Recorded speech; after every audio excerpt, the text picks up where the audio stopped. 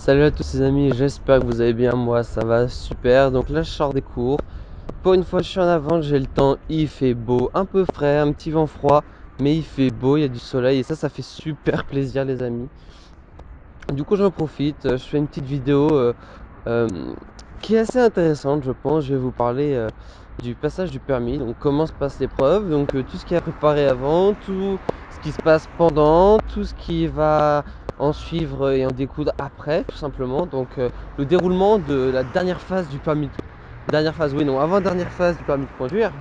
Parce que, à mes yeux, la dernière phase, c'est euh, donc après euh, récupérer son papier, se faire assurer et avoir son véhicule, etc. Donc rechercher son véhicule, ça, ça va être une phase aussi importante que je vais pouvoir vous aider aussi dans mes prochaines vidéos. Je compte pas m'arrêter juste au permis, je pense que je vais continuer un peu des vidéos sur ce sujet-là, tout simplement. Parce que forcément je suis, confronté à ces problèmes actuellement. Euh, parce que si j'ai le permis etc il va falloir un peu tout ce qui va avec la voiture et tout ça.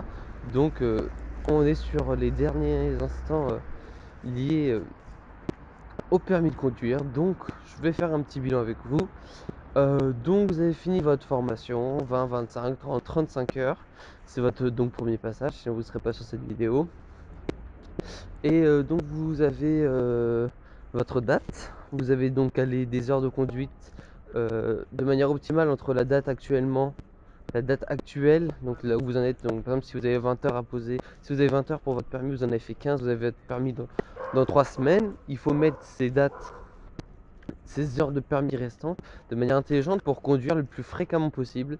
Et le but c'est pas faire 4 heures et après plus qu'une heure, non faut essayer de tenir bon et continuer à faire une, deux heures par semaine euh, sur la fin, tout simplement pour euh, avoir les réflexes euh, et l'habitude de reprendre le volant après 2-3 jours et pas avoir une semaine de vide d'un seul coup, tout simplement. Donc ces heures, il va falloir les mettre intelligemment, les mettre les soirs où vous êtes quand même frais, dispo. Essayez de voir par rapport à votre, vu que vous avez votre date de passage, vous avez aussi votre horaire de passage. Donc essayez de mettre vos heures dans les mêmes conditions je dis les mêmes conditions et pas les mêmes horaires. C'est-à-dire que moi, par exemple, je passais mon permis à 8h. Qui dit 8h dit euh, euh, pénombre, lever du jour, on voit pas beaucoup. Il y a une gestion des feux, euh, une gestion de qui peut être assez facile de donc risque de, de verglas, de d'eau qui est en train de dégeler, de réflexion du soleil sur la chaussée humide, etc. Et donc en fait, faut, faut essayer, suivant l'heure, savoir à quoi ça correspond. 8 heures énorme passage de bus. Donc moi j'ai calé mes heures 17-18 euh, heures. Pourquoi? Parce que 17 heures c'est l'heure à laquelle le soleil commence à se coucher, où le froid commence à être vraiment important et donc le sol commence à geler, ça commence à glisser, il commence à avoir une gestion des phares, il commence à avoir une gestion donc plein phare et phare euh, fait de route, etc. Donc j'ai calé mes heures de manière intelligente pour le passage du permis. Le passage du permis arrive. Donc le jour, la veille, il faut essayer de bien dormir, très bien dormir. Il faut préparer tout ce qu'il faut, les papiers, un sac avec de l'eau, à boire, à manger, du sucre, des bonbons. Voilà, il faut prévoir un peu un sac euh, avec tout ce qu'il faut pour se sentir euh, bien. Merci. Mais aussi euh, médicaments contre le mal de crâne, l'envie de vomir, un petit sac plastique au cas où vous avez envie de vomir. Voilà, enfin, c'est essayer de faire un petit sac un peu du, combattant, quoi, histoire d'avoir de quoi euh, subvenir à tous vos besoins euh, le, jour J tout simplement.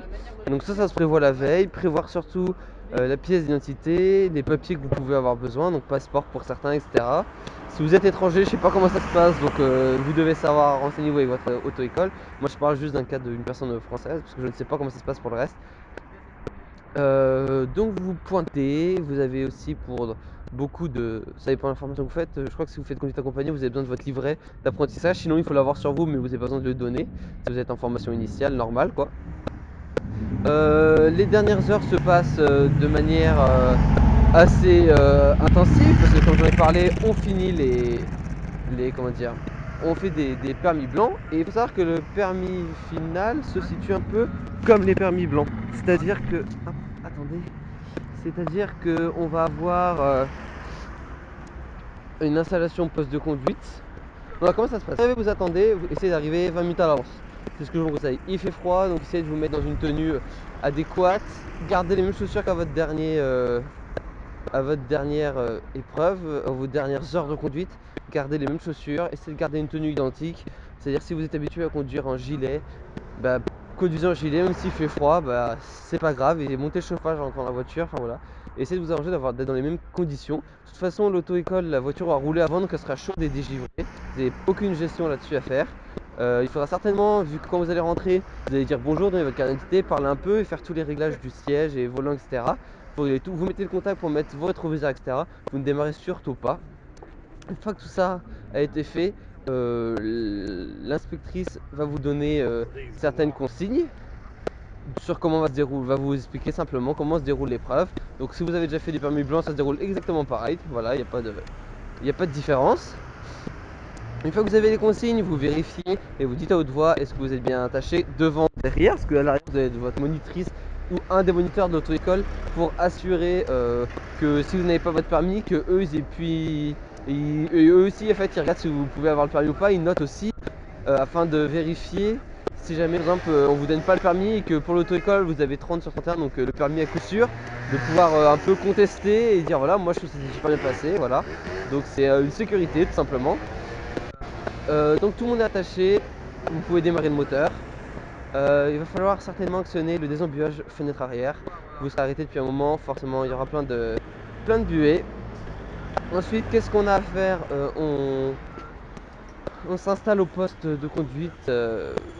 vu qu'on est bien installé convenablement, logiquement tous vos réglages sont bons. Donc là, vous devez directement clignotant, première roue, et on accélère lentement au point de patinage. Et on sort tranquillement du parking parce que vous serez forcément sur un parking. Euh, là, attention, le début c'est assez stressant, vous pouvez trembler ou autre. Donc euh, partez vraiment lentement au ralenti parce que ça vous évitera simplement avec le stress euh, de faire n'importe quoi. Une fois que vous êtes engagé comme il faut sur la route, vous allez rouler en agglomération, faites attention à toutes les règles de sécurité. Vous allez vous arrêter, faire une manœuvre et faire des questions intérieures-extérieures. Ça se passe exactement comme vous a entraîné la monitrice. Ensuite, vous, vous repartez, vous finissez, euh, ou vous finissez, ou alors vous venez de faire un bout de, voie rapide, ça dépend de où vous vous garez. Une fois que tout ça a été fait, vous rentrez, vous vous garez, vous dites au revoir, vous récupérez votre pied d'identité, vous n'oubliez surtout pas, et vous sortez du véhicule, vous partez, vous rentrez chez vous et vous essayez de penser à autre chose pendant deux jours au moins, deux ou trois jours. Voilà, c'est le temps que ça arrive. Donc par la poste en plus sur le site internet. Voilà comment se passe l'épreuve. Elle se passe exactement comme vous faites des trucs blancs. Euh, n'hésitez pas à demander de faire plusieurs permis blancs à vos moniteurs. Ils ont ce qu'il faut, ils ont le papier, ils le remplissent comme il faut, comme j'en parlais à ma dernière vidéo. Voilà, le permis se passe vraiment de manière identique. J'étais impressionné parce que, par exemple, au code, on n'est pas du tout préparé euh, pareil comme le vrai code. Mais là, par contre, euh, les moniteurs ont fait leur boulot et j'ai été préparé exactement comme le jour de l'examen. Seule différence, c'est quelqu'un que vous ne connaissez pas. Et si, gros, gros, gros, gros point important, c'est que vous avez par contre quelqu'un à l'arrière. Donc votre rétro intérieur, on voit pas grand chose dedans. Donc réglez-le de manière intelligente pour que du côté du moniteur, euh, s'il est installé arrière droite, bah, vous voyez un peu moins arrière droite parce que ça va vous déconcentrer de voir si elle vous regarde, si elle vous observe, si elle machin. Et puis surtout, vous allez donc euh, avoir, euh, comment dire, je suis arrivé, hein, je vais tourner en rond les amis. Euh, ça va vous déconcentrer et ça va vous gêner. Donc il vaut mieux ne pas trop voir ce qui se passe derrière vous en fait. Essayez de. Enfin derrière vous, je parle dans la voiture bien sûr, il faut voir ce qui se passe derrière la voiture. Mais dans la voiture, la, plage arrière n'est pas importante, d'accord? Parce que tant que la monitrice derrière est, accrochée, c'est tout ce qu'on veut savoir euh, lorsqu'on part avec le véhicule.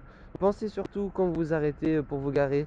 Euh, après les manœuvres, de couper le moteur. Pensez surtout avant de repartir des manœuvres de vérifier que tout le monde est bien attaché, euh, de démarrer le moteur qu'une fois que tout le monde est bien attaché.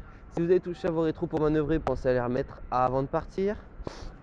Voilà un peu tous les petits points. Je pense que j'ai dit à peu près tous les points auxquels je pensais et, qui étaient importants de vérifier ou de contrôler. Après voilà, si vous vous en sortez bien en conduite normale, ça se passera exactement pareil. Voilà, moi je pense avoir fait des petites erreurs et je m'étais dit merde, c'est con, je vais, euh, c'est raté, c'est foutu tout simplement. Et euh, enfin j'avais en mode soit c'est quelqu'un de gentil, ça se passe très bien, vu que tout s'est bien passé, j'ai le permis euh, avec euh, plus que ce qu'il faut. Soit je me suis dit, elle me compte mon erreur euh, que j'ai faite, qui pourrait être une erreur sur la route, mais vu que je l'ai faite sur un parking, c'est beaucoup moins grave. Donc voilà, donc là on est en, attente des résultats. Maintenant on est au stade où il faut se vider la tête, sortir, voir les gens, ne pas trop se ressasser. Est-ce que le pro, est-ce que ça c'est éliminatoire, est-ce que c'est machin. Voilà, s'il y a un truc vous pensez que c'est éliminatoire, essayez de vous dire que vous ne l'avez pas. Comme ça, vous pouvez que être surpris de manière positive et pas déprimé euh, si vous pensez l'avoir et qu'au final vous l'avez pas, voilà tout simplement. Et bien sûr, si vous vous dites ouais, euh, je pense l'avoir et que je l'ai pas, et que vous retombez une fois d'après, un mois après sur la même monitrice, vous risquez d'être énervé contre elle et donc de mal conduire et de, c'est un cercle vicieux après de ne plus réussir, de ne pas réussir à avoir le permis et ça peut se produire plusieurs fois si vous avez un problème avec euh, l'inspectrice parce qu'on ne sait pas l'inspecteur à l'avance, même les moniteurs ne connaissent pas l'inspecteur. Euh, euh, sauf au moment où il arrive sur place tout simplement.